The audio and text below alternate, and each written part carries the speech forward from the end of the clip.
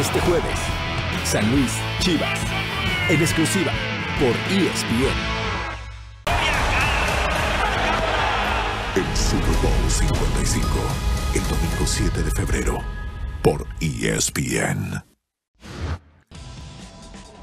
Señoras y señores, vamos a recordar lo mejor de este partido.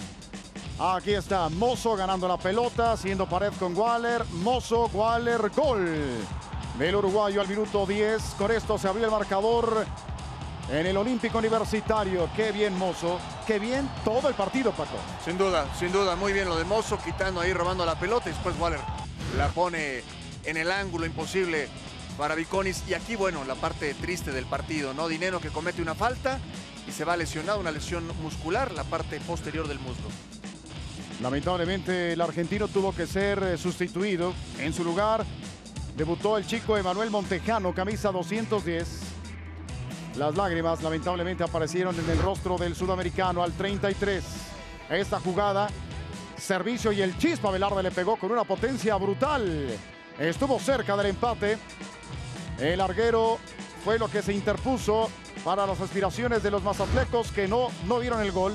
Qué cerca estuvo el chispa. Sí, esta pelota parada, ganado nuevamente por eh, Montejano ahí. Qué buen debut de este joven. Sí.